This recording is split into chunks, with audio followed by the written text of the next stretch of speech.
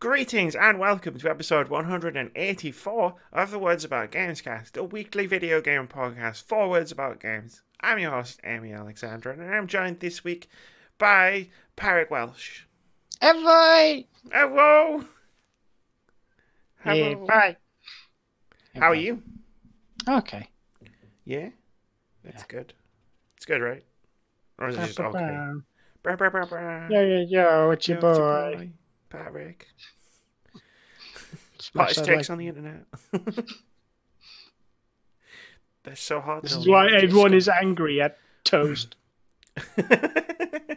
Toast is cancelled, you guys. oh, I like toast as well. Well, Damn cancel culture. you know, it's it's cancelled now. I guess I can just have it untoasted. Fine. Whatever. Whatever. Well, you know, wait till I tell you about bread. Ah, don't don't ruin bread for me. I like sandwiches. I regret, I regret to tell you that Bread said this really homophobic thing. oh, bread. Why? I suppose I always knew you had it. You had it in you. But still, what? Where did that come from? This is the worst thing ever. This is this is the words on that note. This is the words about Gamescast, where each week we discuss five stories centered around what's been going on in games, gaming culture, and the games industry over the past seven days. Before we leave you with a list of games that are coming out this week. It's, it's not really a list this week. You'll get that later on. Um, this week, we discuss the Game Awards nominations, Google Stadia's gender neutral controllers, the new Half Life game announcement, the rumors swelling that Resident Evil 3 Remake might be coming next year, and the rumors that Amazon is getting ready to announce its own game streaming service in 2020. And if you're sitting here thinking, well, that sounds like a slow news week, you'd be right. It was a slow news week. Timestamps are in the description below the video over on the YouTube channel. So if you want to watch this video in any particular order you want, if you want to watch the whole thing backwards, if you want to just skip the specific things, you just scroll down and you click the numbers next to the headlines in the, the description, and it'll take you where you need to go. Should we? Should we? Should we do the thing? Yay! Do the thing. Let's do It's going to the be like. I, I, I predict this podcast is going to be 50 minutes talking about the first thing and then like Yeah. five talking about everything Yeah. else. because, yeah, it was a slow news week. Number one, the Game Awards nominations are a bit confusing. Like, I wrote that headline for myself because I was a bit confused when I was going through Well- the. What confused you? Um, some of the nominations themselves, some of the categories, Okay. um, some of the way they've separated out some of the categories. I'll, I'll get to it. okay. and then we- we can discuss it. Like I always do this every year. I don't just bring. I don't just go, "Hey, these are the nominations. Let's talk about it." I like just disassemble the entire structure How- of the Game Awards. How do you feel about the Game Awards? But but what does this mean? It's you with the red string on the nose. every year without fail. But then I just tune in and I watch it and I'm like, "Yeah, it was really good."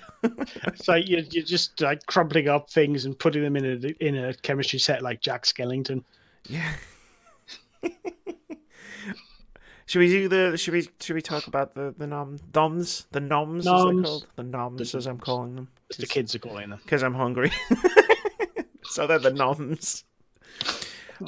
Let's start at the top. We've got game of the year, and I wrote down some of the descrip- what the descriptions for each of these are, directly taken from the the mm-hmm. Game Awards website for reasons later on. Game of the year is an easy one.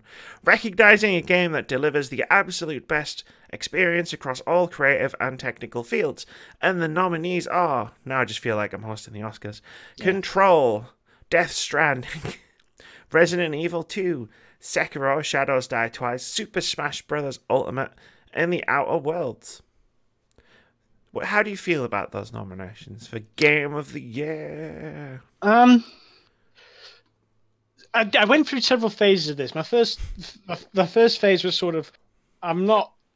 There doesn't seem to be like a sort of like standout knockout winner this year, which is kind of strange given how strong the year's been. That there hasn't been like one game I feel like you can sort of point at and say, well, this is their best game ever. Yeah, like know? it was this one, guys. You know, the, the yeah, this the second result, and this is obviously very parochial, was where the fuck is Fire Emblem Three Houses?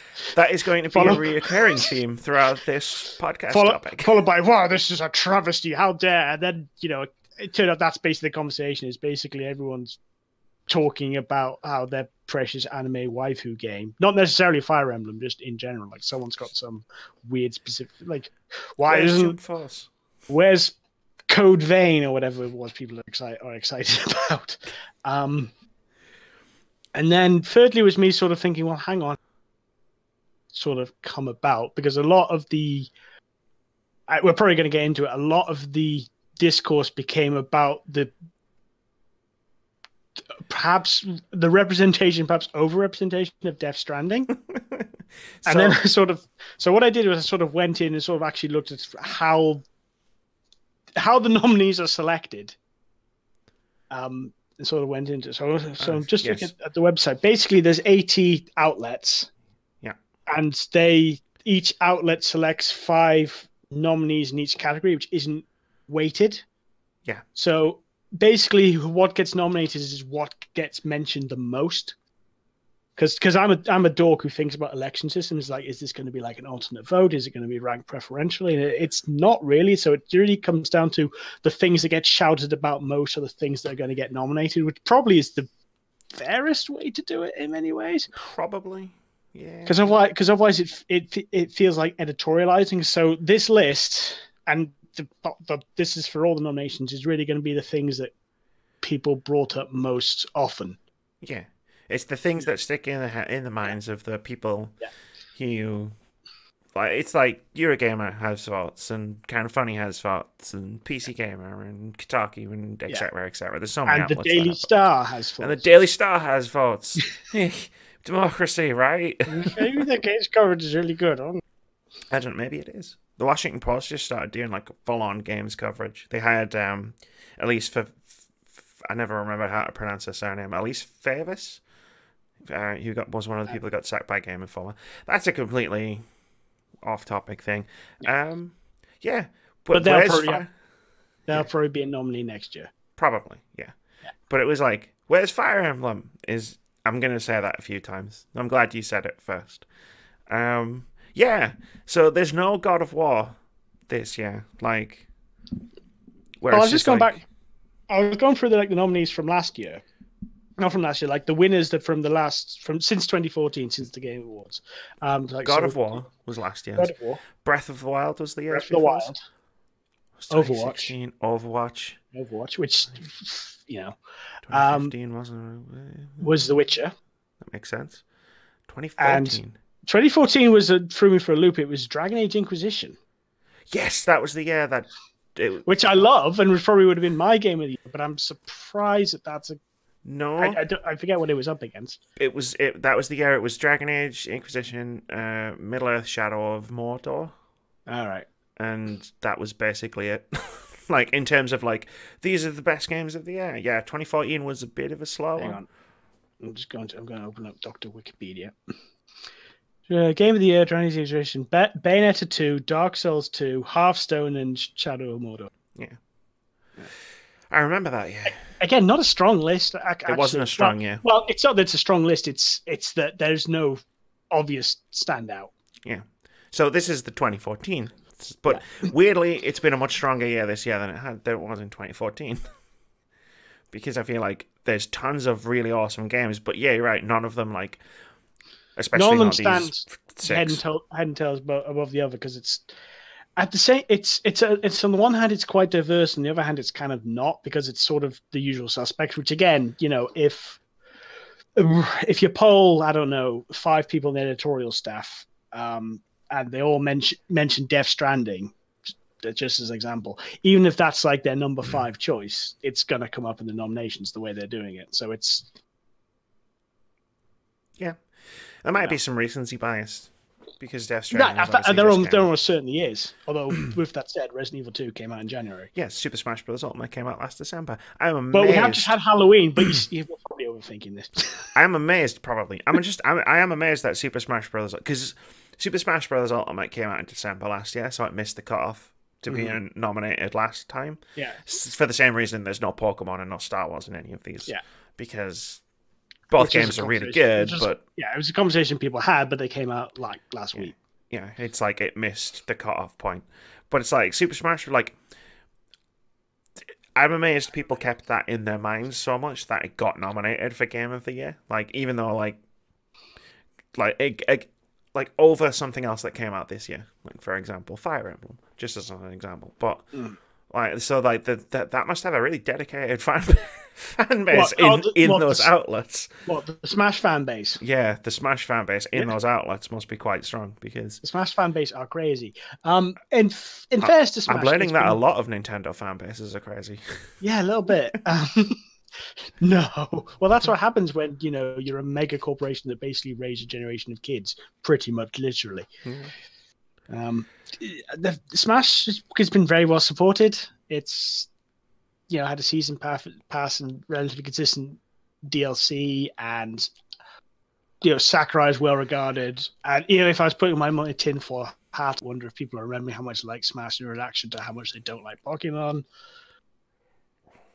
I'm not surprised, and I, and I think it definitely deserves to be there. It was probably the thing I played the. It was the thing I played the most. That wasn't either Civ Six or Fire Fair enough. Um, And- yeah. So Everyone was playing it in January because everyone got Christmas. yeah, well, it's like, well, this is the one thing I can sort of, I think, like when I look at these, like Resident Evil Two, everyone was playing that in January. Right, Yeah. Smash Brothers, everyone was playing that. The Outer Worlds, like, I'm just going off of my my video game Twitter Yeah. feed discourse. It's like the Outer Worlds, everyone was playing it. Sekiro, every like, yeah, like these are the games that were like made the impact on social media. Like some of them, again, we talked about it last week. Like Fire Emblem took over Twitter for two minutes because nothing else came out. But like even mm. Control, like there's a lot of people just talking about it. But I feel like that one was a slower burn. Like every yeah, I feel week, like everyone, everyone sort of thinks, "Well, I really like Control. I thought it was cool, but I don't think it was." It, like I kind of kind of missed the conversation about Control completely. Like I only got it when it was on sale. and I need to finish it. Oh, fair enough. I did finish. It. It's one of the few games I've only finished like twenty games this month, this year maybe. So the more I thought about it, the more I thought, well, actually, I get how this list came about because it's kind of Yeah. almost literally produced by committee. Uh, yeah. And I think that the reason we're get, probably going to get into it, I think the reason why something like Death Stranding, if you look at the rev- at the aggregate review scores, it kind of feels like an eh, but it's very polarizing. Like, you know, if forty percent of the people who play it absolutely fucking love it and it's the greatest game of all time, and sixty percent hate it, that's still forty percent 40%. where, where that's their first choice. Yeah. It's You know. That's this is how we end up with bad governments because because forty percent really, really, really like to This vote for bad people. person. Not to, not to get political, but No. Get your politics out of my games. Uh, no, the um yeah, like it's it's a reason why like Sekiro's on this list or like why a Dark Souls would like always get like a really ridiculously high like Metascore on Metacritic. I mean, they're they're amazing games. Don't get me wrong, but whenever one of the like a game like Sekiro comes out, every single outlet goes, okay, let's just give it to such and such. Who's like the From Software mega fan, yeah, and then oh look, it's got a ninety two on on Metacritic. How did that happen? But it is a case of like it is a niche game. Um, that's not me arguing that it doesn't deserve to be on the list. I, I, it wasn't for me, but it that's how that kind of thing can happen. I feel like. Yeah. Um, and yeah, yeah, right. It's just awards awards by committee. Like I'm sure my list will. I, d- I don't mean that as a pejorative. I know no, it sounds definitely not. but that's how it's come about. It wasn't. It wasn't either one Geoff Keighley, you know, turning over to Hideo Kojima in bed and saying, "You know what? Yeah, I'm going to nominate you for seven awards." I'm going to nominate you for everything except the one award that you should definitely be nominated for. We'll get into that bit later. But on the Um, other hand, it's also not a curated, like handcrafted. yeah, You know, Geoff Keighley these are, these are the most important games of all time. Sort Yeah. of. No, and like you said, the, the the lack of a standout is quite cool because I look at the list and go, any one of these games could have probably win because again, it's voted on Yeah. by those same people who are. I don't know. I feel like I'm. I feel like I'm going to be angry when whoever wins. I, don't suppose that's the flip side of it, right? It's like, well, any I of these going to look games. and say, well, I did deserve to win. Well, that that's not bad. That's not yeah. Like, what's your pick? What what what's your pick? Because I'm not going to ask you what you think. Win. I want to know what you, what you want to. What would I? I, I well, there's absolutely best experience for creative and technical fields. Um, I mean, I kind of feel like I probably should smash it because I played it most, and I haven't played Outer Worlds yet, and I have no interest in Sekiro, so uh, I probably kind of want to give it to Control. That's cool. Control winning would be would be cool. Be a nice cap to the story of the year of everybody just kind of breathlessly anticipating the MPDs and going, "It's not on there. It's not Right. on there." But it won Game of the Year. Yeah. Well, I think I think I have a different idea of game of the year. It's like when I sort of read the description, recognize game mm. delivers the absolute best experience. Whereas I would think game of the year was recognized the game that had the most sort of impact on the industry. You know, Fair enough. like it's, it's sort of for me, it's more like Time Man of the Year, which does not necessarily mean it's the best man because it went to fucking Adolf Hitler and Donald Trump. So, but they were important. Yeah, like the the Game Awards is a very different thing from like say my Game of the Year list or GameSpot's Game of the Year list, where it's just like these are the games that we liked the most in Yeah. in 2019. Which, which is why it's pointless get sort of getting angry at it because you know it's like well, if you don't like it, go to another outlet that will have a result that's more to your liking. There are hundreds of us somewhere out there on the internet. Someone agrees with you. Yeah. Let's go to the next one, which is independent game. Mm-hmm. For outstanding creative and technical achievement in a game made outside the traditional, the traditional, I typed that out wrong, the traditional publisher system. And the nominees are Baba Is You, Disco Elysium, Katana Zero, Outer Wilds, and Untitled Goose Game. Honk. Yeah, I, I feel this is a much stronger field because Yeah. Uh, one, I think these are they're all excellent, they all deserve to win, but also there's a there's a standout. It's gonna That's be the standout. it's gonna be the fucking goose game. Oh, okay, cool. I mean, That's the Goose good. Game made a hell of an impact on, on Twitter. Yeah, you have a lot of game journals on Twitter. Yeah, no, well, this is where I get the thing from. This is what I'm saying when I'm talking about like the game feed, like game journals, game developers. I've got a list on of like a bunch of people on Twitter, so I can literally, if I'm ever Oh, getting your sick revenge of, list. If I can, ever, if I ever get sick of the discourse on Twitter, like I can literally just flick over to game stuffs, which is my Twitter list of like 600 people, and it's just it's just games people. And yeah, they don't always talk about games, but you know, just but like yeah, I mean these are all fantastic games. Um, I, I've played them all at some point in the year. I've only played Katana Zero actually. Outer Wilds seemed like a game I really wanted to like, but I couldn't get away with it because of the way the controls worked. So I kind of couldn't get into it. But at the same time, I was like, I really I think want Outer to Wilds like will probably sweep a whole bunch of other categories. I don't. So like, I don't know. I, I don't know where we left off when we had that minor technical kerfuffle. But um, Sorry, that's I fine. the. It happens. It happens. No, no big deal. But you said the Untitled Goose Game was the one that, to me, the one that jumps out is Disco Elysium. Because I feel like all of the games are really good, but for me, that one is like really, really good. Like, it sticks its head Yeah. up above the pack. That's a personal. I want to play it. I, I really, really, really want to play it. I'm not seeing a lot of people talking. Like I think, like I think the Goose Game has sort of like reached out of the sort of hardcore gamer journalist mindset into a broader culture. I don't know if that's necessarily going to help it, well, but it's a lot simpler. And I don't mean that as like taking a dig. I don't mean No, that no, t- no, at, at all at, at, at Untitled Goose Game. But um, it is like you're a goose, you're a goose. Like that's the, the, the premise, and you're a horrible goose. you're a horrible goose. shit. You is a goose.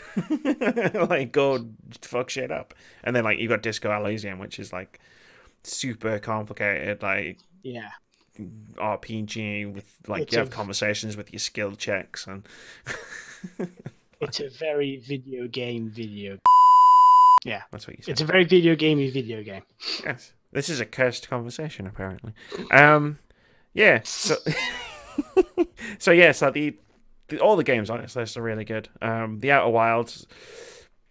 I couldn't really get into it because of the way it controls. Like, I wanted to like it because it seems like exactly my kind of game, but I couldn't. Um, Katana Zero was just really fun. Mhm. um, and Baba Is You is a really, really fun puzzle game, which is super hard. It's one of those kind of puzzle games where it's like it's super difficult until it's not like until you go, oh, that's the solution. That was really simple. I just need to turn the trees into a wall or some something like that. Um, let's move on to the next category.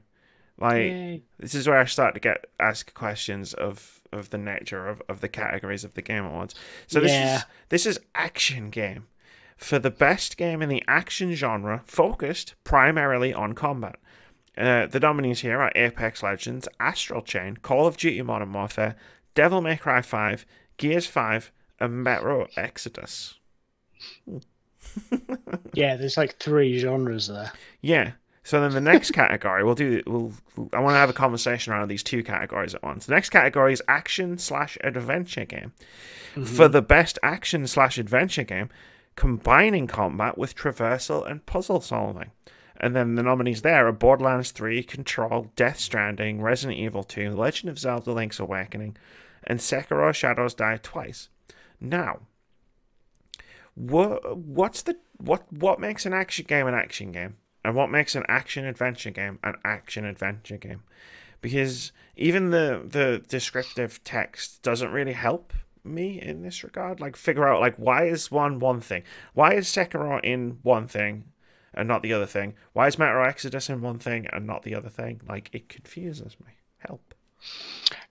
Um, I mean, it's got a little bit of you know the definition of pornography is I know it when I see it to it, and when once you start getting grinding down her into the details, it's sort of the whole thing falls. But it's almost like genres are meaningless, but whatever. Um, I think when action game they mean this is sort of like twitchy combat focused, very technical, and with action adventure they mean this has got a plot and puzzle solving elements and traversal. Yeah. It's more of an adventure. Without saying adventure game, because that implies a whole third other genre, which is like old LucasArts games. Because genres are stupid.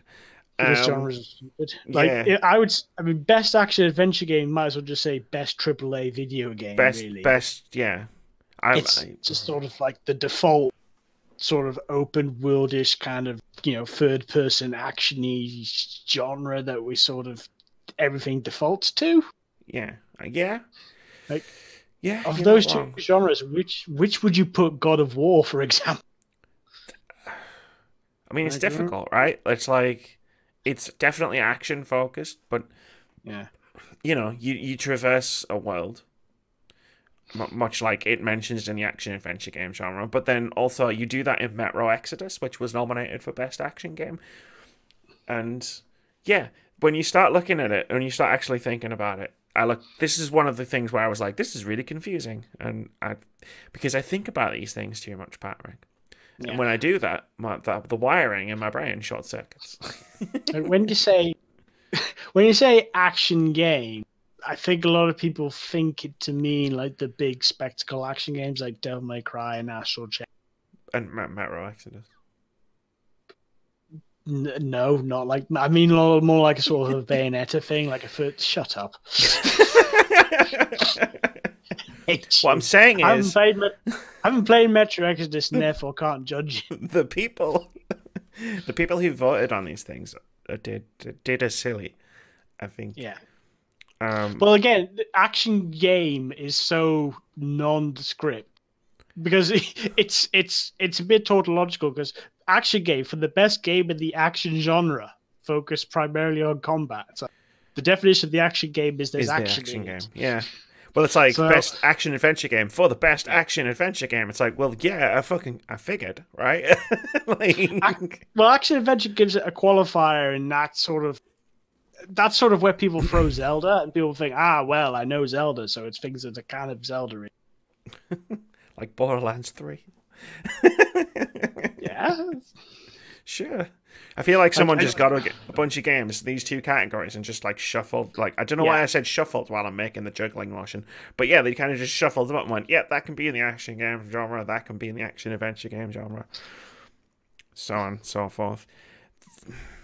I think there is a distinction to be made. I'm thinking like, well, what? How do you solve this? Do you like spin first-person shooters off into their own genre?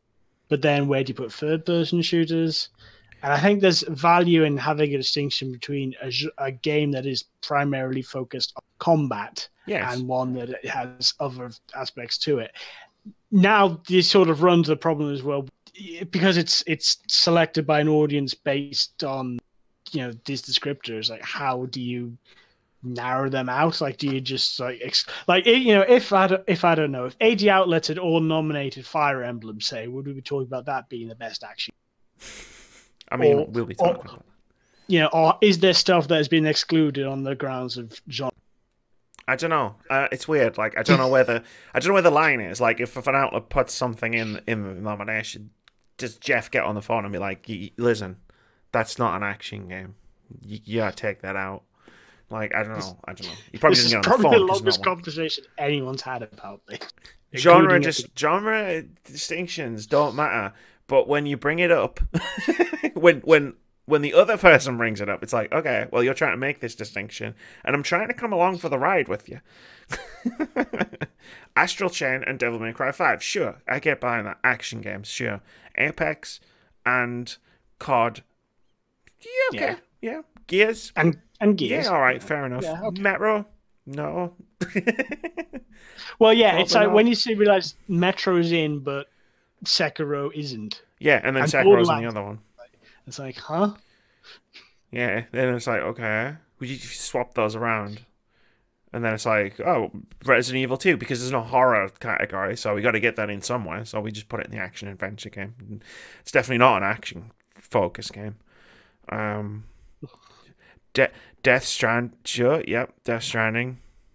That was both I action. I don't know where else to put Death I don't. Yeah, it's like action adventures. You, you look at some of them, and it's like, well, where else do you put it? Like, yeah, okay, yeah, we'll have a it's, it's like it's it's sort of what, what genre what genre is I don't know Horizon Zero Dawn. It's it's just sort of the default yeah. triple A video game genre. It is that's the where we yeah What what genre is Red Dead Redemption?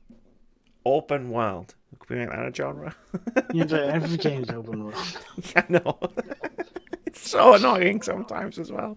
It just didn't. It's like when you play a game and you go, "This didn't need to be an open world. Why is this an open world?" No. Um, best at like, fuck it. Let's just get to the like right.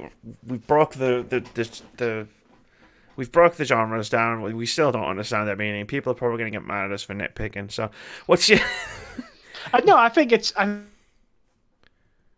oh, distinction. yeah? I mean, yeah. It's it's fine. It's fine. We It's just can't fine. figure out what that distinction is based on the games that are in, in, in each list. Um, cool. What's your pick for best action game? I realize I didn't ask you this about the previous one. Um, well, it, the last one was indie game, and I said Goose Game, so it's fine. Um, action game.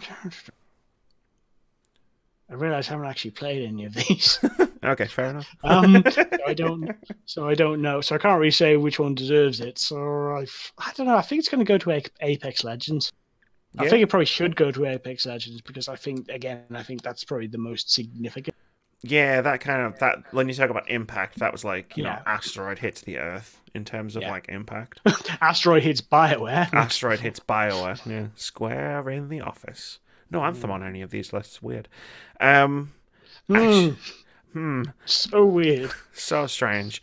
Action adventure game. And that would probably be this would probably be the one I would give to Death Stranding. Actually, Yeah, maybe. Yeah.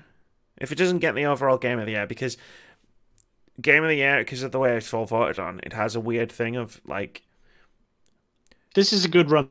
Death Stranding would win. Like for example, Death Stranding would win action adventure game, whereas Resident Evil Two would win game of the year, even though they're nominated in the same categories because they like to spread out the awards.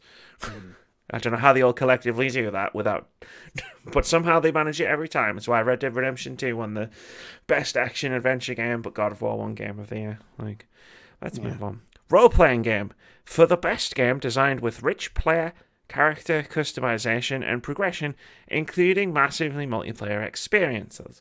Um, Well, that's dumb yeah, because that's right. single player and and MMO. So, MMOs get jumped into that, even though there is a best multiplayer game category as well. You know, So Final Fantasy 14. How, how was Final Fantasy 14 nominated? Did it have an expansion this it year? did. It was called Shadowbringers, I think, and it was the one with Tom Holland was training to be a to be a Shadowbringer in the advert. The nominees are Disco Elysium, Final Fantasy XIV, Kingdom Hearts 3, Monster Hunter Iceborne, World Iceborne. So we're allowing DLC now. yes, and The Outer Worlds. Okay. So one of those is definitely an action adventure game. like, I, I mean, I don't class Monster Hunter World as a fantastic game for sure, but I don't class it as an RPG.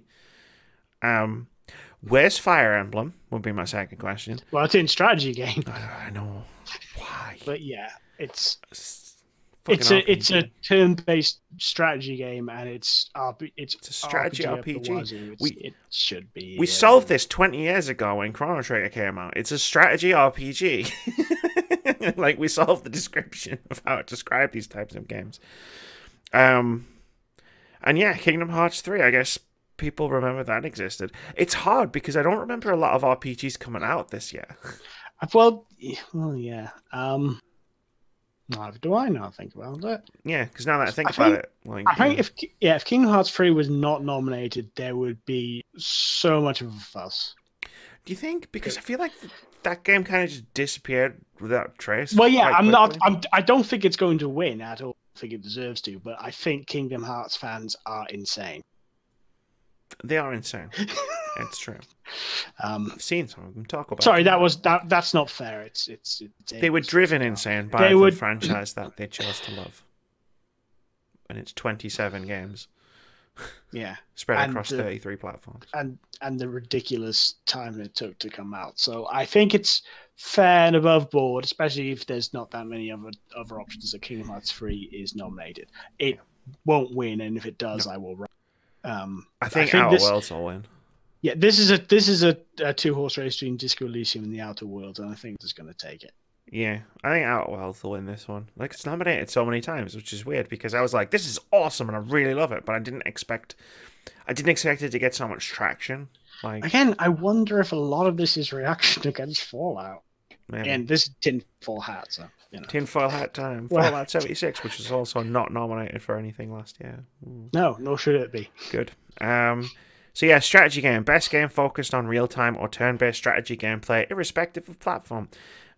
Which is a weird little thing to add at the end of that because it's not on any of the other ones, but apparently it is on, on this one. It is. It's. Uh, I noticed it was on um, Family Game because all the all the nominations Which, are the. yeah, all the nominations come from the same place. Um, yeah, so this was Age of Wonders, Planetfall, Anno 1800, Fire Emblem, Three Houses, Three Total War, Three Kingdoms, Tropico Six, and Wargroove. And one of those games on this list is not like any of the others, and that is Fire Emblem. Well, it's on a con. Actually, Wargroove is too. I think this is a really strong list.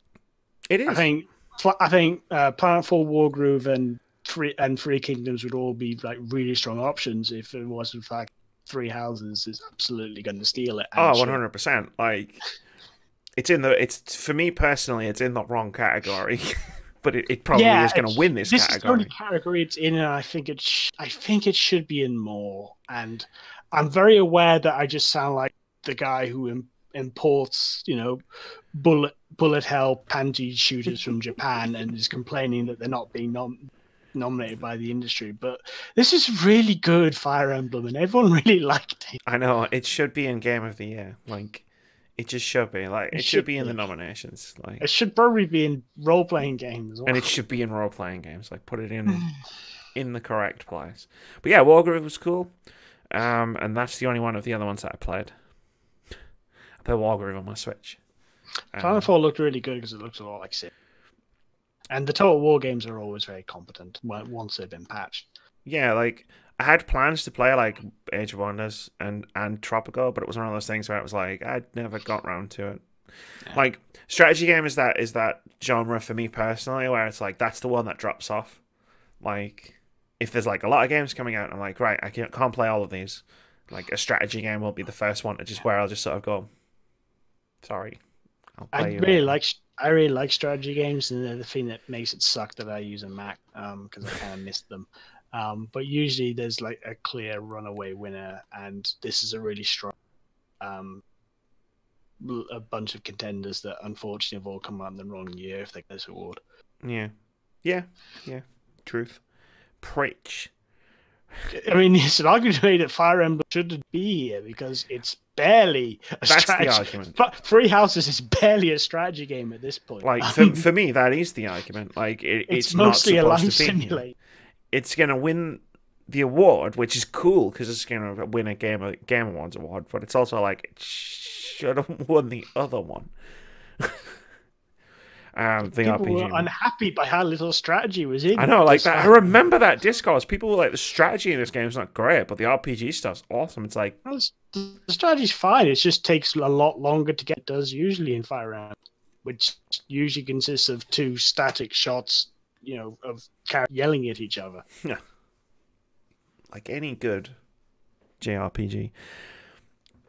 Let's go the the the award whose name made me laugh out loud. Yeah. The fresh indie game presented by Subway.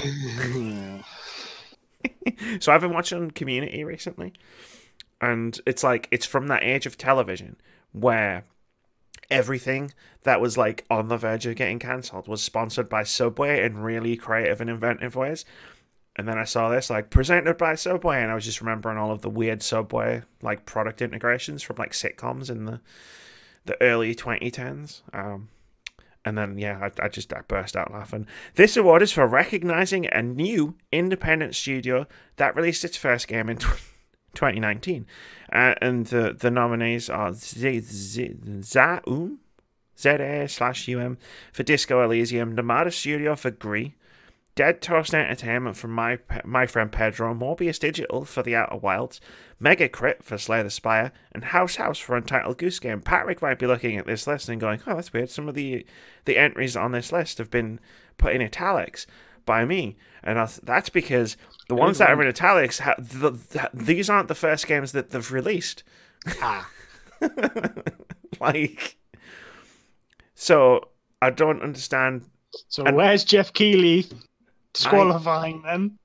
I I did a Google search on every single studio on this list, and like the other studios might have released games too, but I only checked for like two minutes. But at the same time, I only checked for two minutes and found half of the nominees had released games before the games that they released in 2019.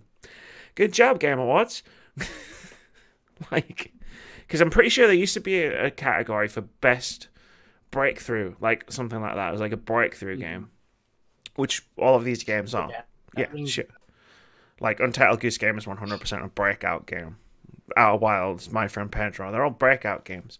But it's like they changed the name of it, but then no one's, no one who's nominating games seems to have gotten the message that they've changed the name of it. So like, Well, you know, I think they wanted to call it the fresh indie game presented because it's presented by Subway.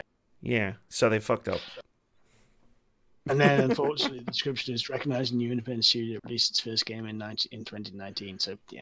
Yeah, wrong. Sorry. Fact Maybe they only by the changed it recently. Maybe. Like, I'd hope they changed it again. Like, I hope they haven't changed it, like, after everybody's already voted.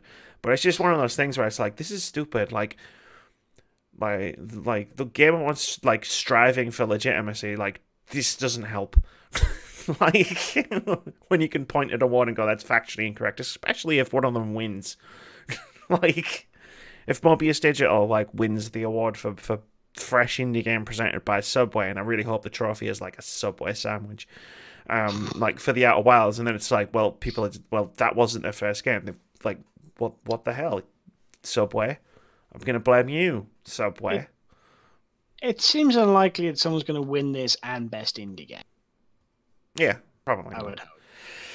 Again, I'm assuming it's political and not on you know. again, it's like I feel like people who vote for this, if they vote for say Untitled Goose Game in best indie game, they'll vote for something different in best in fresh indie game. Like, Yeah. like because I feel like that's just the way it goes. Like that's how we end up with like a really diverse group of winners instead of just God of War Mm. Winning is- all the awards last year. Like because Which is what you want, really. Oh, 100% because you want to like celebrate as many as many different games as you want. Like I, when we do E3 or when we do Game of the Year, like I I do awards, but like some of them are, are like are really like not serious at all. Like some of them are like really like strangely named and stuff and it's just because I'm not trying to be like this was the definitive best game of X then this was the defi-. it's because I'm like I want to talk about as many different things as possible that was awesome um because yeah otherwise you just end up stuck on repeat talking about God of how great God of War was or how great Overwatch was like games for impact is the next one uh, sorry which, which one do you think's going to win fresh indie game Fresh indie game, a With the Subway sandwich. um, I don't know. I think it might go to either Disco Elysium or Gris. Yeah. I think this this would be a good consolation in indie game.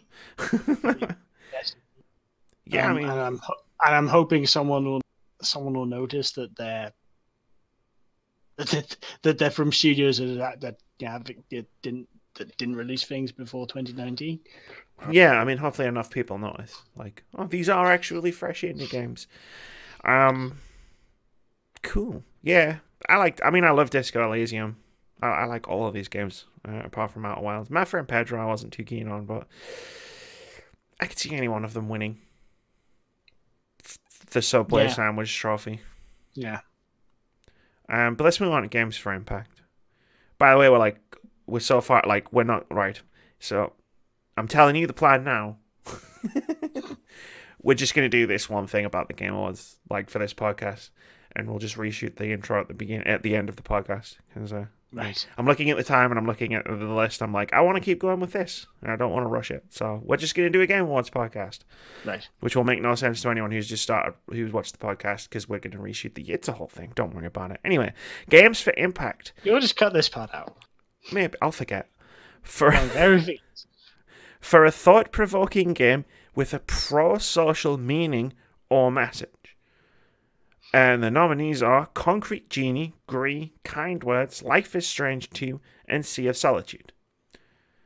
Now this is the one category i think like like there are other categories death stranding's nominated in where i'm like why? And we'll get to that in a bit. This is the category i feel like death stranding should be in and isn't. Because it does the whole every everybody should help each other and build each other up and connecting the world and but then it's like the what, what do you think of the the description of like what g- games for impact actually means I f- think what it means is that the they're talking about the games that are specifically and overtly and deliberately dealing with issues or themes that don't generally get handled and doing it in a constructive way. It's so so it's like bringing up things LGBT issues, the experience of women, uh, the experience of eth- of ethnic minorities. Basically, you know, the, the games that are not only not white dude bro shooters, but are deliberately countered to it, and are actually got something to say. I'm, I'm not phrasing this very well. no i mean all of these games do have something something Yeah. to say like on this list for sure I haven't actually played any of the things on this on this list, but I did play the first Life is Strange, which so yeah, Which, to have a yeah. sense, I think, for what what sort of thing that they're going for. Yeah, I mean, like Sea of Solitude uh, was about depression. Concrete About Genie was about bullying. Yeah. Life is Strange 2 is I haven't actually played that.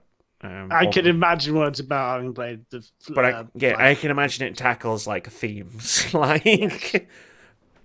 Don't I not say- on I- out here going, oh, games aren't political.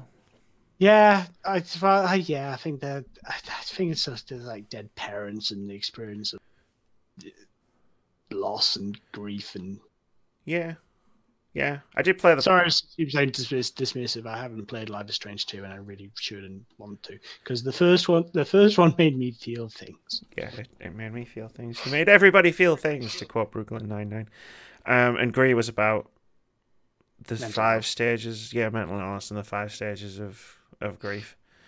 Um, which really hammers over your head when you get towards the end of that game. Kind Words is cool. Like I want this one. I want this one to win the games for Impact because no one's ever heard of it, which I know is is dumb. A dumb reason for it to want to win a, an award, but it's like this teeny little game where like you send notes to other people. Like that's all you do. You just it puts on like some like chilled out lo-fi music, and and you just send notes to people, and you get notes from other people, and like you can just write whatever into the into the the ether. So like you know if you're struggling, you can write like oh I'm having a, a hard time, or like you might get something and you can write to to someone about. It. It's like it's just like a way of of communicating, which hasn't been co-opted by the shitheads. Um, Yeah, which is which is cool, man. Like I love it. Like as a concept of of a game, like yeah, cool. Like that that will be the one. I and ironically, it's it's the one on the list apart from Life is Strange that I haven't played, but like even just hearing about what it is and seeing what it is, it's like yeah, I, I want that one to be my. I would want that one to be the games for impact game. As as cool as like Concrete Genie is dealing with bullying and Gris is dealing with state like grief and Sea of Solitude was a really cool, if a bit heavy-handed, um, thing about dealing with depression. It's like, yeah, like cool. Like Kindwords wants to make more of an impact by sort of like being more proactive about it rather than just showing you the story and going, this is a thing, and it sucks, and this is a thing people deal with, which is still really important. Like I don't think enough games do that kind of thing, but that's my take on on these on these nominations. I kind of just kept talking there. yeah. No, it's I have having not played them. I I I don't really have anything to say, and That's fair usually enough. have have feelings, need to express them. So, um, That's fair. Should we just jump to the next? I think one? I think they're they're decent. It's it's a decent lineup. I suppose the only th- I would probably prefer it was something of Dontnod, whom I love, but I think that they sort of cornered the market on this the last few years for someone else to have a turn. Because I think it's a good way to promote something. Yeah, I mean, uh, winning a game award is a good way to get people to to like to pay attention, right? Sometimes because you can say, well, it's an award-winning game. Even That's what everybody says. Uh, anyway, narrative for outstanding storytelling and narrative development in a game.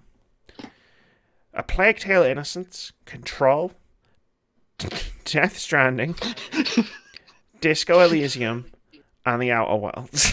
Why are you laughing at Death Stranding? because I've played 25 hours of Death Stranding, and it's the you don't think it has outstanding storytelling and I- narrative development? I think it's the.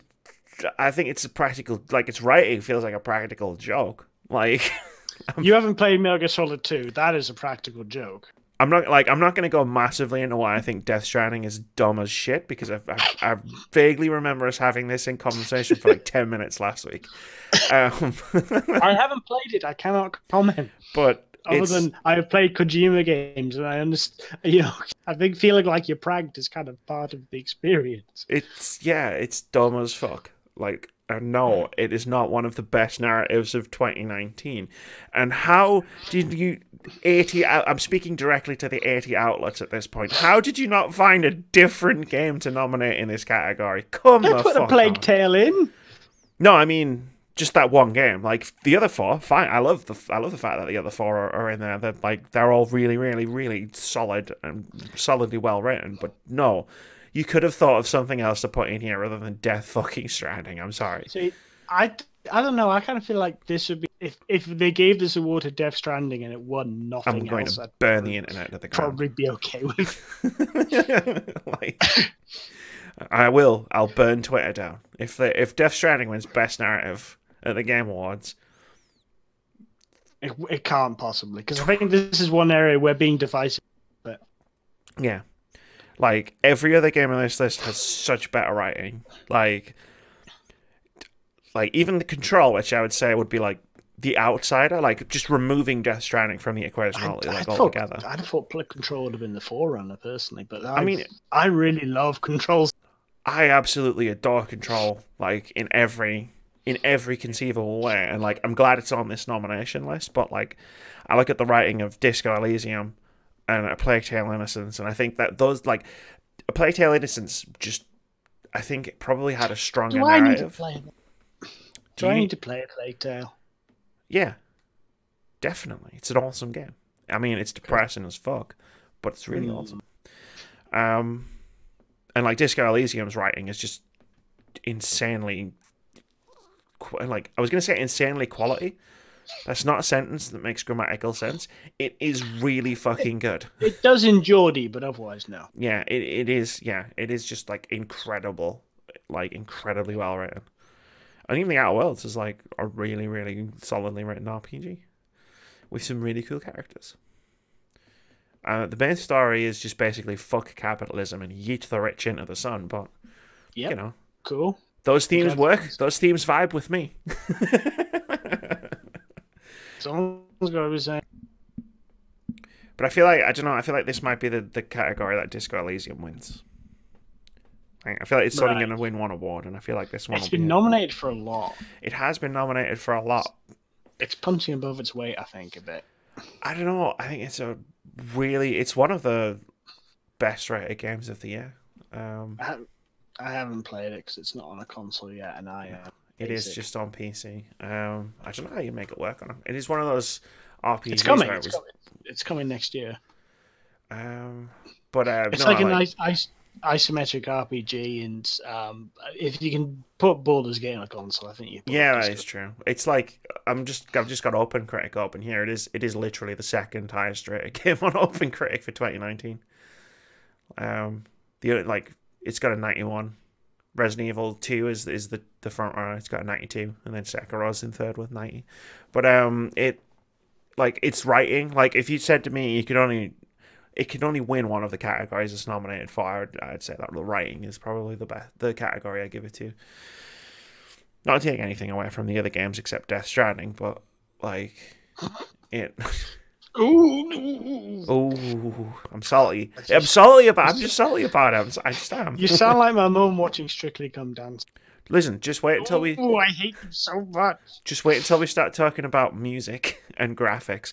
But um, yeah, like I mean, Control had a great story. Plague Tale: Innocence had a story that will scar me forever. Like, but I feel like it's the two indies for me that like have the strongest narratives. Or should I say, the most outstanding creative and or tech? Nope, that's the other one. Out most outstanding storytelling and narrative development in a game. I'm glad they added that qualifier at the end in a game. I don't know. I have a feeling this is this is the one Death Stranding's. Well, I hope not, because I'll burn Twitter down. I don't. I, I don't agree with it. Like out of all those, I've the only one I've actually played is. Yeah. I really want to play the Outer Worlds, and I really want Disco Elysium to come to a platform I can play it. It will, and then you'll you'll be you'll be in all. I think I think you'll love it. I think any of those uh, are, would would be uh, a worthy winner, with Death Stranding admittedly being an an out an ultra choice for me. Yes. Well, Can't comment. Haven't. Can't come I haven't played it. Like you just got this get out of jail free card where it's like I have played all of these. Oh no. Um. Oh. Well, no, I can comment on its art direction. Art direction for outstanding creative and or technical achievement in artistic design and animation. The nominees are Control, Death Stranding, Gris, Sayonara Wild Hearts, Sekiro Shadows Die Twice, and The Legend of Zelda Link's Awakening. Comment on the art direction. Is this the only one Link's Awakening's been nominated? No, it's in something else as well. Hmm. Action adventure game. You technically remake it should be nominated. Well, I mean, Resident Evil 2 is everywhere, but like, Yeah. Like, I mean, there is that conversation to be had where it's like, how, like, for me, a remake, a full-on, like remake, like Resident Evil Two and like Link's Awakening, like, yeah, Yeah. nominate it. Yeah, it's basically a been, new yeah, game. It's made. It's not a port. It's been re- remade from scratch. Yeah, hundred especially in something like art in something like art direction.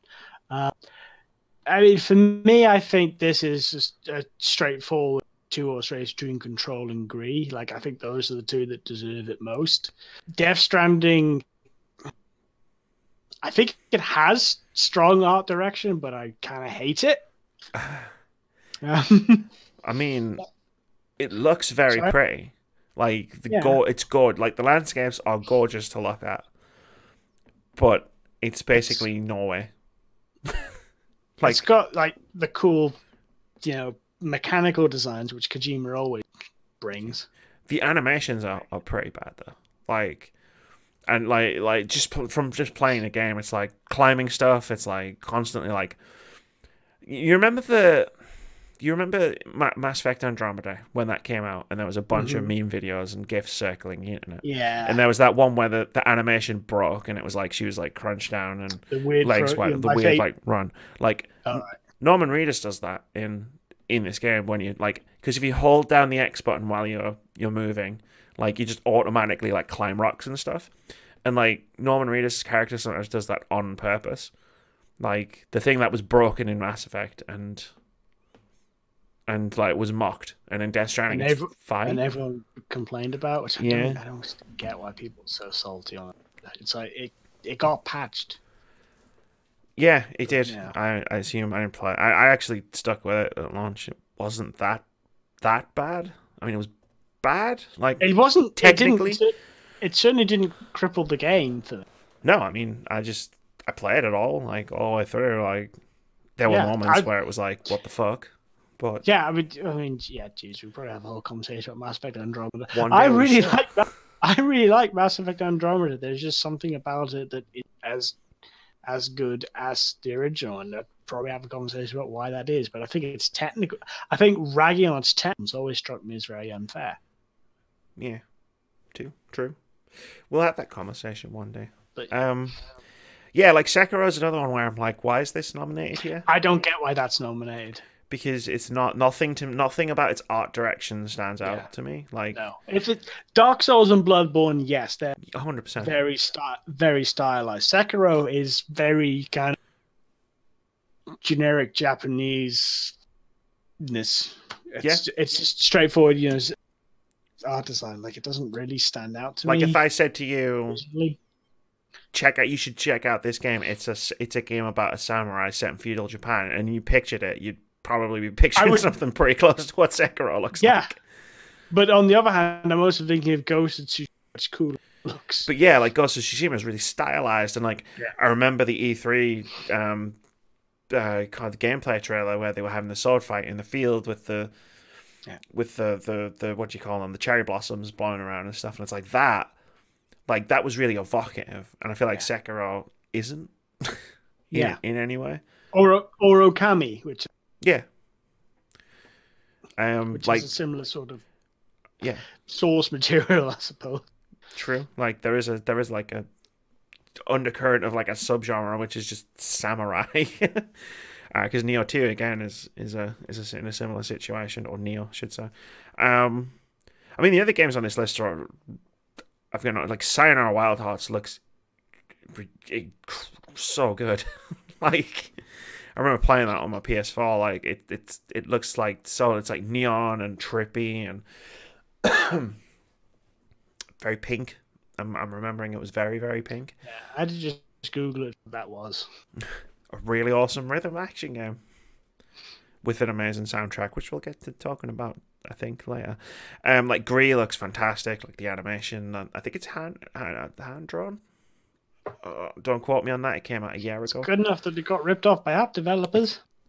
That is true. Um, Control, like, I love the world of the the what's it called, the oldest house. Yes.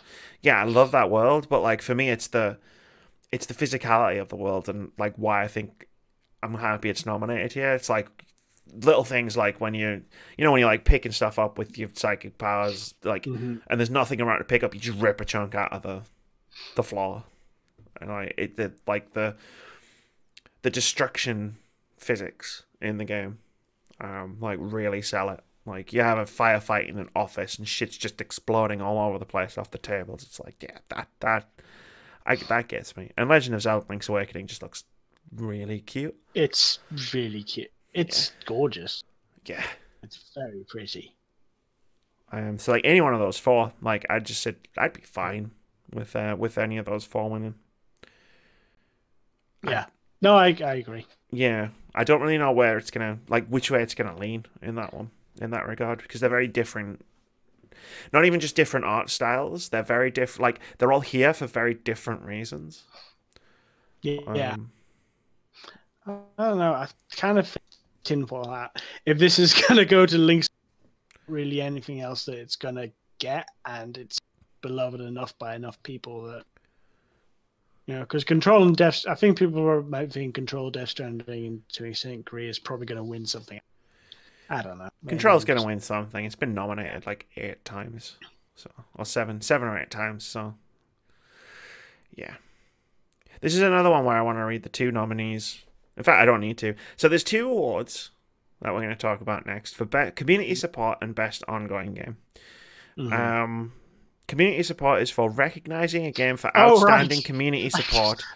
You just I figured it out. that. Yes, Transparency and responsiveness. An ongoing game is awarded to a game for outstanding development of ongoing content that evolves the player experience over time.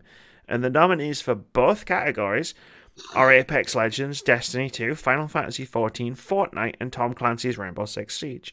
So, what is fundamentally the difference between these two awards, and why are there two separate awards? Because Well, I guess what they're saying is that the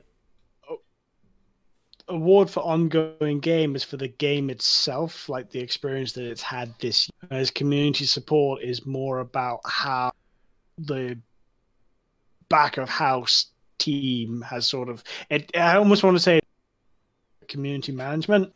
yeah, okay, like just know, for me, when you've nominated the same games in both categories, that throws up a flag which says to me like maybe this this category isn't so different from the other one. But like, if I've got a category for the best on ongoing game, like community support to me, like for a game like any of these five, is such a huge part of that game's appeal. Like, like it, if Overwatch had shitty community management, I'd stop playing it, and weirdly enough, I, I did, and it and it does. Um, but like, I just blew up my own point. Um, wow, the salt.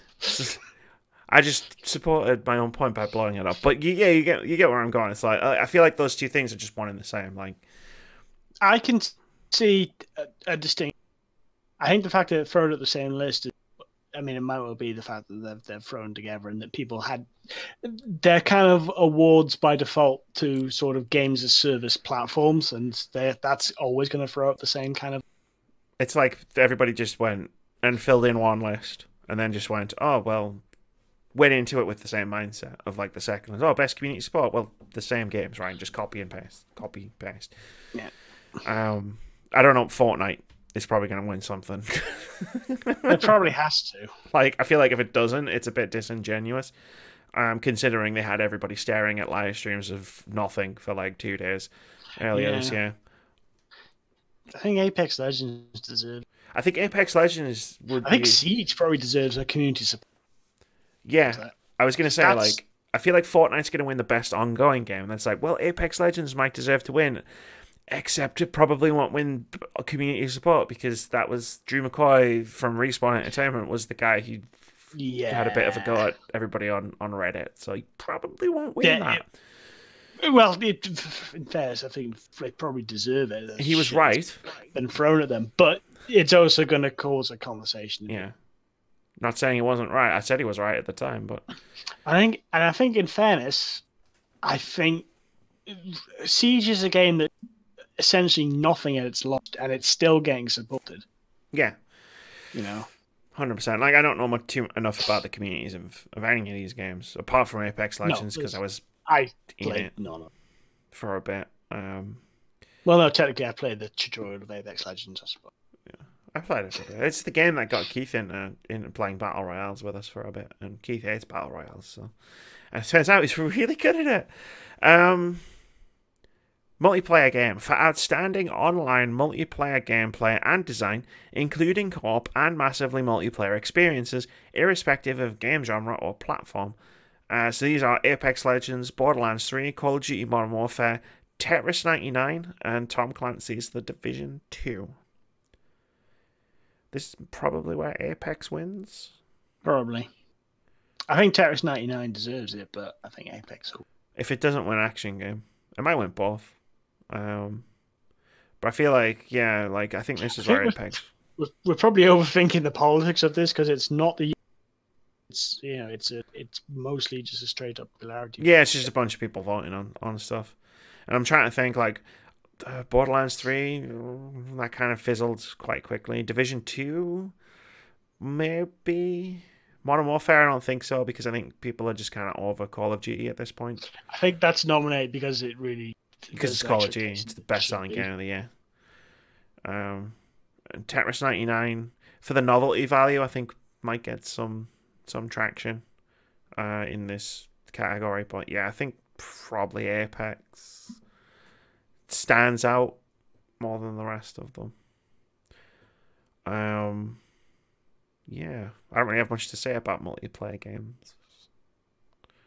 Apex is. I think it's fairly straightforward. Yeah. This one's not. Game direction. Awarded for outstanding creative vision and innovation in game direction and design. And the nominees are Control, Death Stranding, Resident Evil 2, Sekiro Shadows Die Twice, and Outer Wilds. I always get confused by game direction because it's not. These aren't movies. Like where you get a best directing Mhm. thing because of Well- direction of a movie. Well, Hideo Kojima says hi. I mean, okay, yeah, sure. Hideo Ko- again by Hideo Kojima. Yeah, okay, fair enough. Like, but like, I'm in control. Oh, he's going to win, isn't it? It's probably gonna win though. Yeah, that's exactly That's what I was thinking. No, but as soon as I thought this is about game direction, Hideo Kojima is going to win this. It's awarded for outstanding creative vision and innovation in game direction and design. And it's Which like, he I'm does, based on that definition, he doesn't deserve to. win. no, but it is that thing of like Death Stranding is is is art. It is the art house game, like the art house movie version, like uh, the game version of the art house movie. It's like he's gonna win this. like regardless of whatever else is here, right? Outer Wilds might sneak it because it's very different, but yeah, Death Stranding's Yeah, I think I almost wonder if Resident Evil 2 should be excluded for uh, for outstanding creative vision and innovation I was gonna in bring game direction design Yeah, for a re.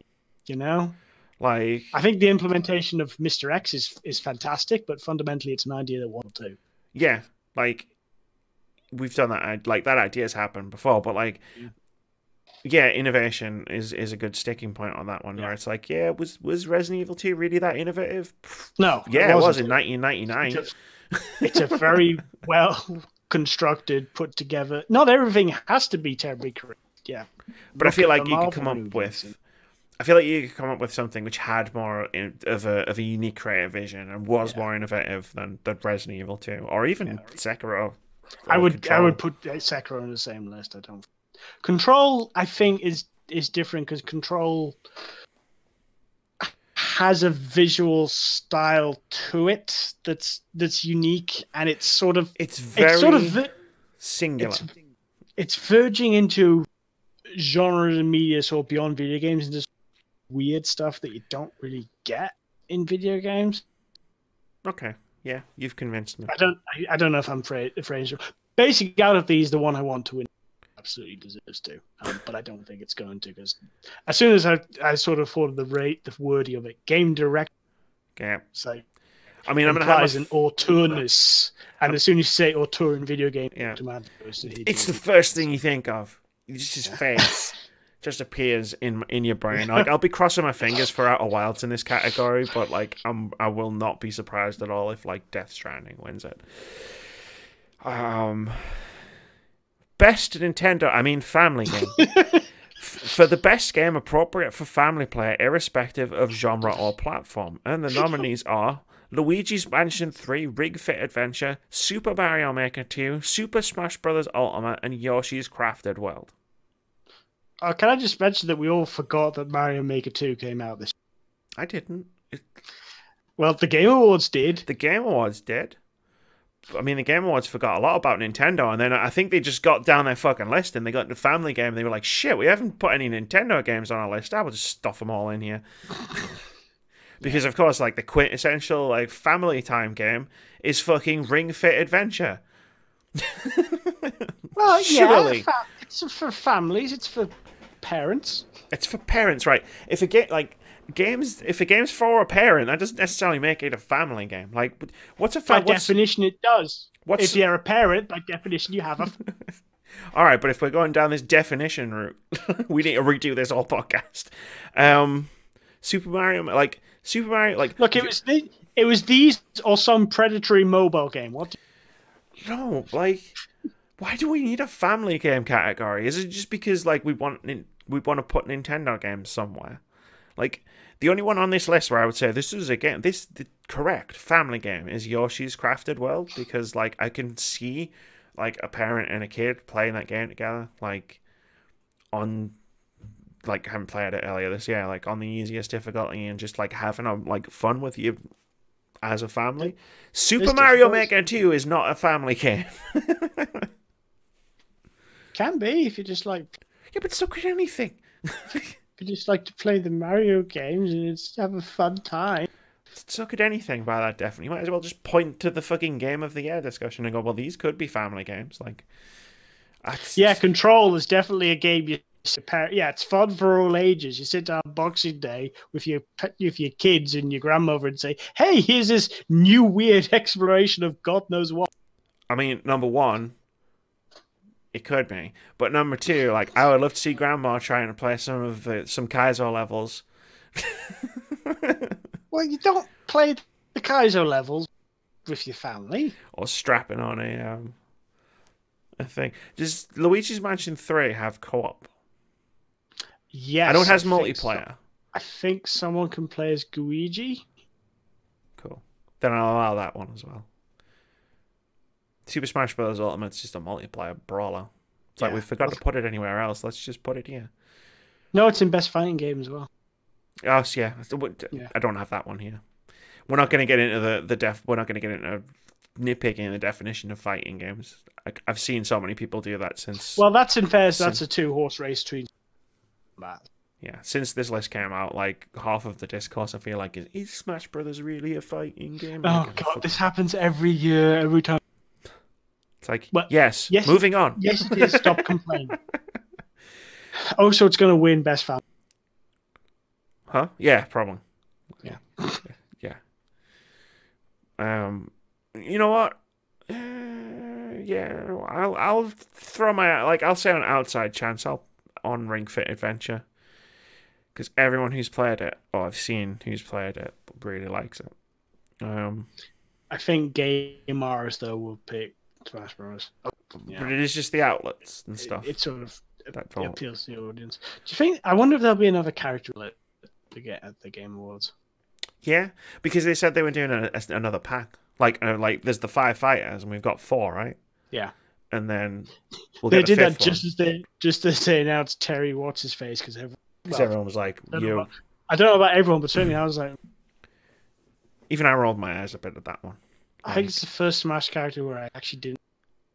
That's like, Well, apart from like Fire Emblem, and I suppose. yeah, but it's like, like you think about the reveals, like Joker and um, Banjo, and then it's like Terry, and it's like, no, that wasn't as fun. No. Like, No.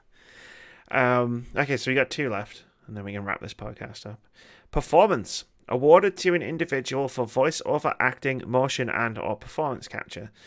And the nominees for this category are Ashly Burch for uh, Parvati Holcomb in The Outer Worlds, Courtney Hope for Jesse Faden in Control, Laura Bailey for Kate Diaz in Gears 5, Mads Mikkelsen as Cliff in Death Stranding, Matthew Porretta as Dr. Casper Darling in Control, and Norman Reedus as Sam Porter Bridge that name. Sam Porter Bridges in Death Stranding. That name kills me every time. Um Are you suggesting that the guy who named the character Decoy Octopus has names? I mean, Die Hard Man was in was in Death Stranding. You know, rest my case. Um, these are all really solid choices. Like, Yes, but yes, I don't want Mads Mikkelsen this to win because I think it cheapens the whole thing to have people who are primarily known aren't game screen actors. actors, come in and take an award from deserving voice actors. Uh, yeah, Like, I, I'm not saying Laura Bailey necessarily deserves it for this particular performance because I can't judge, but she deserves a fucking lifetime and she's something else. Well, funny enough, like Yeah. f- I mean, if I was having, if I someone said someone said to me like, Amy, these are the six performances we've nominated. I want you to rank them from one to six. I would go okay. And to be fair, Mads Mikkelsen and Norman Reedus do a great job in Death Stranding, but I'd put them at five and six. Do they do the mocap? They did, yes, very Okay. much so, yes. Um, Okay. and like I was just thinking that must have been like.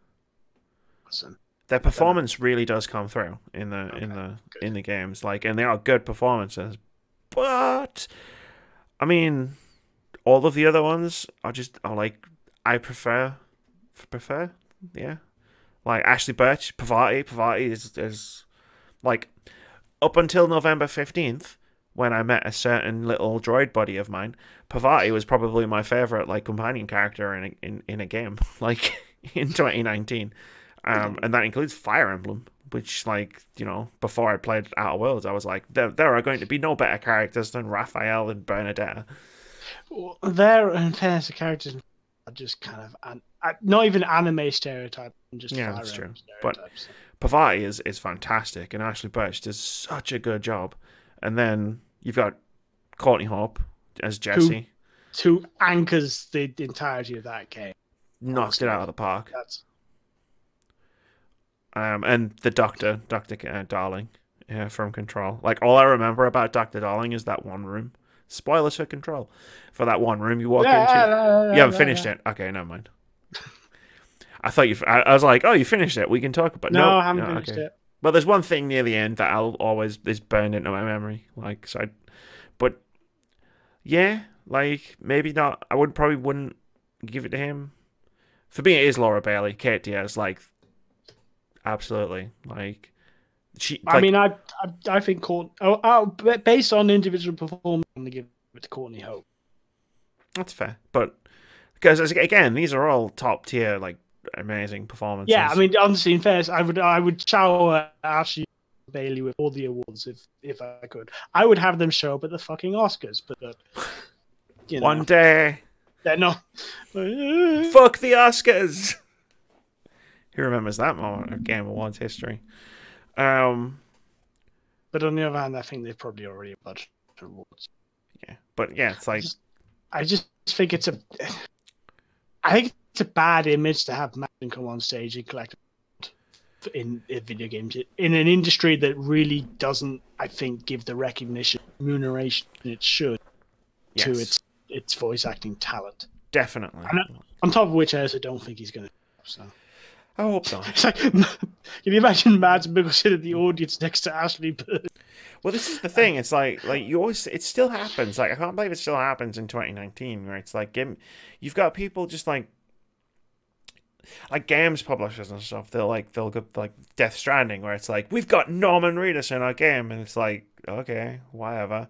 I Like- suppose that's that's For me, it's like I've, Yeah. we've got we've got Laura Bailey in our game. I'm much more excited about that. well, well, well, yes, but on the other hand, it's also But I'm I'm it's a video game. Of I'm not course, you've got mainstream. Laura Bailey.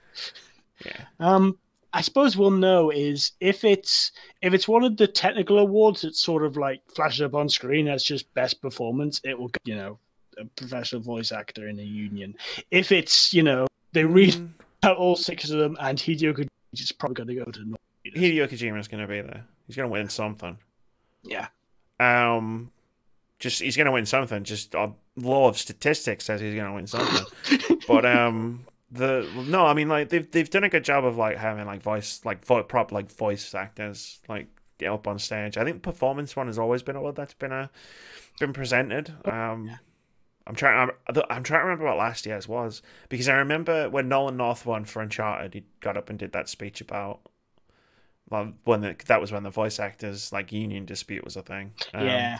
and then there was the year after, which was the woman who did Hellblade, who had never Oh, voice right. acted in anything in her life. Um, Uh, best performance 2018 was Arthur Morgan. Ah, Arthur. Be- beating out Chris Judge as Kratos. You I remember I was very angry about that. but you know, Chris Judge and uh, the guy who Uh, played be- Spider Man. and the last who played Cassandra in Assassin's Creed Odyssey. Yeah, okay, that yeah, he should. no offense to Rod. Uh, this is where democracy. This is where you can see democracy has, has failed us in that one category because I think the person, and again, great performance by the guy who did Arthur and Red Dead Redemption 2, not knocking it, but I think that was probably the weakest of the nominees. Like, Yeah. Chris Judge is Kratos. Like, come on, man. Like, but yeah, in in this regard, it's like Kate Diaz is in in in Gears Five. It's like I never expected Gears Five. I never expected Gears to ever make me feel things, and Gears Five made me feel things. And Really? Not even in Gears 2 when Dom finds his wife. um, I guess it was a long time ago. Maybe I'm just kind of maybe maybe I just picked up Gears Five and was just like bought into the internet hype of it's the dude bro shooter, and but this time there's a woman, and I was like, oh, okay, and like it just reset my brain because I, It's been a long time since I played Gears. And I was like, "Eh, I'm feeling things. This is, and then the last act, and then it's like everybody's emoting. What's going on? This isn't like, this isn't what I was expecting. And now, like you've reminded me of Gears too. It's like, wait, no, it's exactly what I should have been expecting because that's what Gears does. Somewhere along the line, my brain malfunctioned when I was anticipating Gears Five. But yes, Laura Bailey, hundred percent. Let's do the last one. Score and music. For outstanding music, inclusive of score, original song, and or licensed soundtrack. Uh, and here we've got Cadence of Hyrule, Death Stranding, Devil May Cry 5, Kingdom Hearts 3, and Sayonara Wild Hearts. I've just realised that's three separate awards just rolled into one, inclusive of score, original, and or licensed and or soundtrack. licensed soundtrack. That's how Death Stranding is here. Like Ludvig Forssell did a good job on the score of Death Stranding, but the Death Stranding is here probably because of all the licensed music that plays when you're wandering the the, Yeah, the plains of America. Which, if it's utilised well, is It as it was in Metal Gear Solid Five, is is. fair enough. Although I wouldn't have nominated Metal Gear Solid 5 for best soundtrack based on the licensed song. It's got a really good soundtrack. So does, so does Death Stranding, in fairness. But like I can, oh, I the only one of these I've heard is Kane, which I would probably give by default because it's it's remixes of Zelda songs. Cadence of Hyrule's Um, soundtrack is wonderful. Yeah, Devil May Cry Five, I can I can hear what it's going to be like just based on Devil May Cry. Do you know how I think Devil May Cry 5 ended up here? Because everybody really liked Devil Trigger and the song. well, it's no song. Yeah, no, what this is what I'm saying, but it's like I'm gar- like challenge. I challenge anybody who nominated Devil May Cry Five in this category Damn, one other song from the soundtrack, other than there the theme tune. The one with the guitars that goes. I mean, you're not wrong. No, um, I'm sure I'm not. I'm just basing on the soundtrack of Devil May Cry One. Yeah, probably. Yeah, it hasn't. Yeah, yeah, right. I mean, Sayonara Wild Hearts for me is my what I would pick. It's like it's, it might win, maybe, but like the soundtrack in that game. I mean, it's a music rhythm. It's like Cadence of Hyrule. It's a music rhythm action game, so you know the soundtrack has to be on point. Otherwise, the game's not very Yeah. good. But like, Kingdom Hearts Three had cheats by having Disney songs. yeah, it's like that's what I was just thinking. It's like the King. It's like how did Kingdom Hearts three get nominated? Like I'm pretty sure I just had a generic JRPG. sc- No, wait, it had all the Disney songs in it. People keep telling me how great. People keep saying how great the soundtrack is. I don't think the soundtrack to Kingdom Hearts has ever been really any good. It's just like boring, generic orchestral stuff Yeah, and Disney songs, and that's cheating. it's got All right, Frozen you in don't fucking let you don't. Yeah, you don't get to win best score music because you recreated "Let It Go" scene by scene. That's not. it. Like I remember when they did GDQ, some G, some uh, SGDQ, and there was a, a thing they were doing the speed run of Kingdom Hearts three, and they had someone perform some of the songs. like at the show, like because there was moments where you have to like they're doing a thing and they're not talking for like five minutes, uh, and there's nothing really going on. So they pulled someone out to do a performance of the Disney songs, and he did it like three times, and that was awesome. But yeah, it's just like your song. You just because your game's got some fucking Disney songs in it, like it's like, come on, man. Yeah. Whereas we've got Cadence of Hyrule with its awesome Zelda remixes, Siren Sayonara Wild Hearts with its amazing synth pop music, and Devil May Cry Five with its awesome theme tune, um, and Death Stranding with its really depressing, fucking electronic indie music. It's just like, it's cool, but I try to listen to it outside of the game once, and I just ah my mood like it affected my mood so badly i was like i'm never doing that again You can just picture Norman Reedus climbing over like mossy stone. it's weird because it like so it triggers in the game when you're doing a long walk. So like if you're going from like if you're going quite a distance like it'll start playing the song. It tells you what the song is like it all comes up on the screen. And it's really cool. But it, it's like it's really de- like depressing music. And like like in terms of its mood and I, like but in the game it creates this like almost like it creates a different type of atmosphere than it does when i'm just sitting back listening to it. Like it's very strange. Like i never felt down when i was or like i don't want to say depressed because you know but like i can't think of another word for it right now um sad um like i never felt sad when i was when it came on in the game but then when i was like listening to it in my headphones and i was on a bus and i was just like i feel really gloomy now like No. so like no, for that reason alone, I was like, Okay. but yeah, Sayonara Wild Hearts. I'd be fine with Cadence of Hyrule winning it because that game fucking kicks ass and does not have enough representation on this Game Awards nominations list. So yeah, that's all of them that we were going to talk about. Unless you want to talk about esports team of the year. No. Well, I have, I have nothing useful to contribute to it. I know, right? It's like I think San Francisco Shocks in there. And it's like, yeah, that'll do. Like they won the It's Overwatch like League. content creator of the year. It's like, who are these people? They all look. I'm being mean, but I have no idea. I don't know who any of the content creators of the year are, so that's probably why I don't have many subscribers. They're all dudes. Sure, Hmm. of course they are. That I feel like I feel like the the esports stuff should be spun off. I feel like that's a different awards ceremony because it's yeah, it'd be of like having like a sports different award industry. category at like yeah at the Oscars, right? Like if the Oscars was suddenly like had an awards for like best best sporting moment, yeah. like you know. I I, guess mean? the, the the problem is if they spun it off, no one.